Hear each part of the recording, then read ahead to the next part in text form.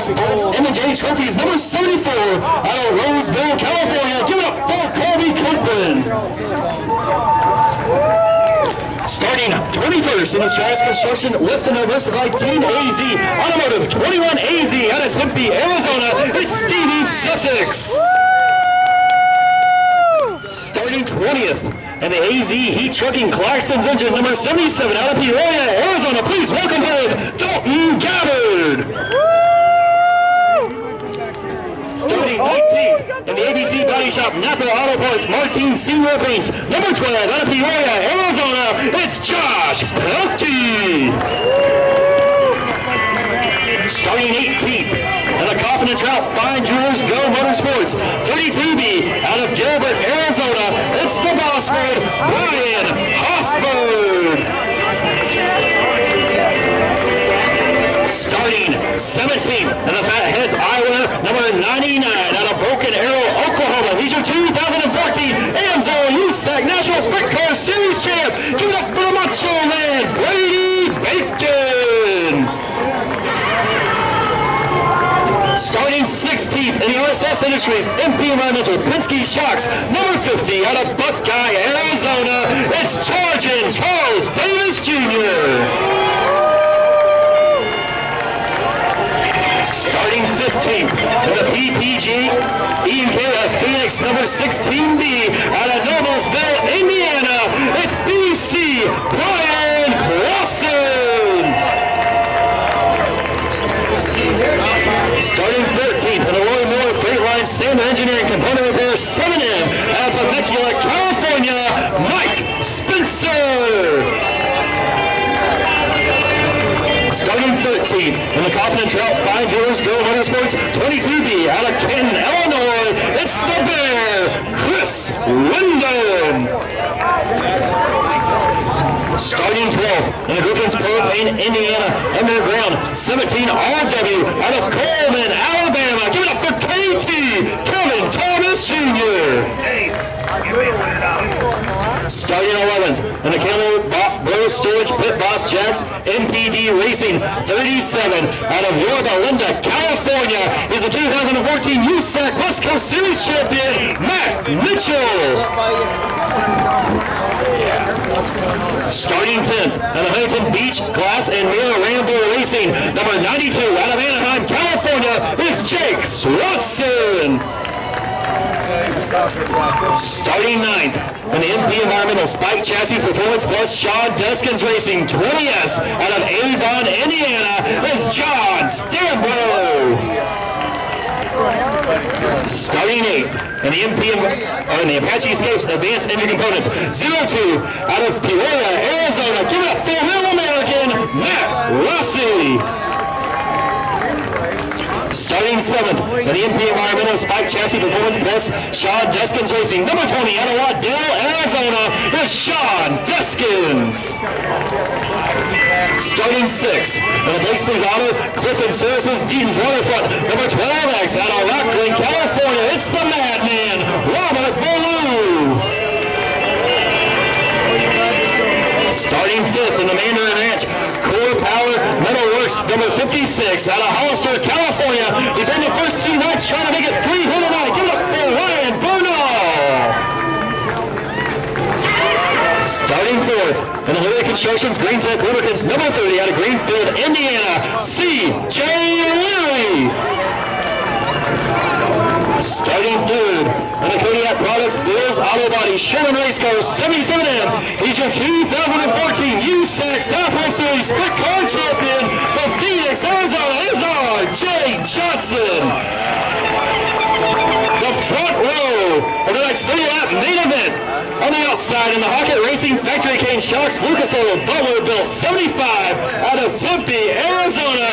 Give a good home crowd welcome to Casey Shuman.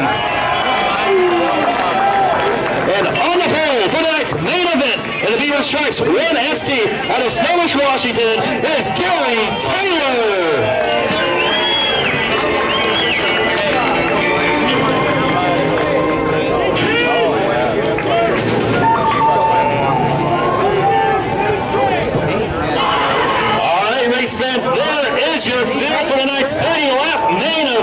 USAC Southwest Series Sprint Car drivers getting ready to go 30 laps. Can Ryan Bernal make it three in a row here in the Western World Championships? Will Bryan Clauson do what he did last year and double down? Won the 360 in the midget portion last year. Here tonight, climbing behind the wheel of the PPG E and K of Phoenix. Mike Martin Racing 16B.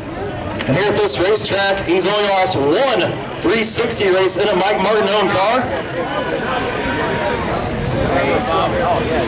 So he's going to try to do it from the 15th starting spot. Here's your hard.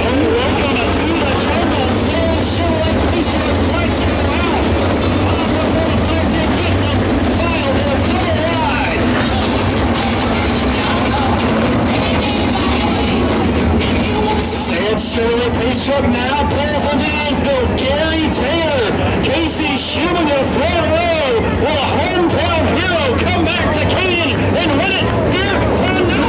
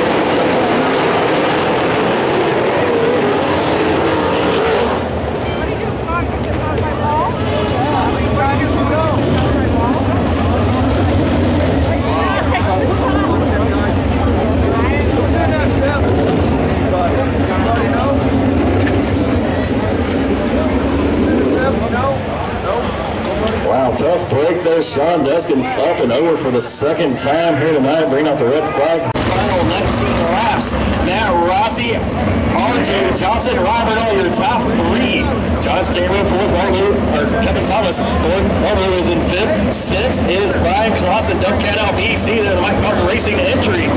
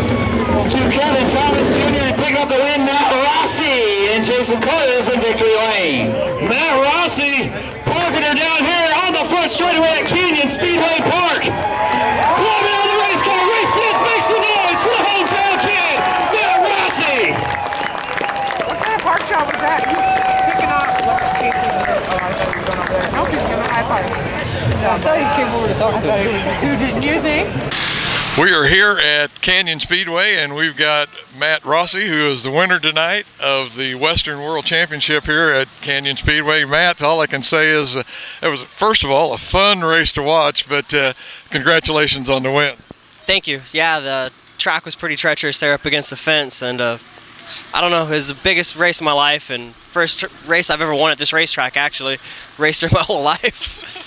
I was going to say just 25 miles up the road, and this, I guess you call this your home track, but it looked like at the first part of that race you were just kind of playing it cool and letting them guys up front kind of race for it. And then when you had the opportunity, why, man, you ready to run on them down low and went right by them. yeah, I mean, I was running wide open as from the drop of the green flag. I just saw, I saw Bernal and Johnson get together, and that was my only chance I was probably going to get to pass them both. So I went for it. I was going to say, I, I wouldn't call it a one lane track, but it looked like passing was a premium out there, so you better get it when you could. But boy, once you got in the lead, I mean, every yellow flag, when there was a restart, I mean, boy, you would open it up to a straightaway lead with in no time at all.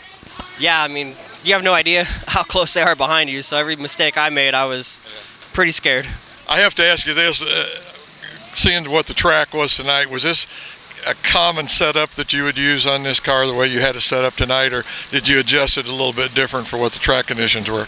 Uh, I mean, you never know. Uh, the last couple months we've been really quick. I haven't really changed anything, so I don't really know how to explain it. Uh, the same setup I use most of the time we run here. Okay. Also, one other thing, I'm kind of making this long, but down there in one and two, boy, that looked like it was a different thing through one and two because you guys were actually running up a little ledge above a ledge there on the, what we normally would call a cushion. Yeah, the cushion just uh, it was too low early on, so we all just kind of made our own groove above it, just put four in the fluff. well, congratulations, Matt, on a great run. Like I say, must have my first Western World. Really enjoyed coming out the Canyon Speedway, and uh, like I say, very enjoyable race to watch. And congratulations. All right, thank you.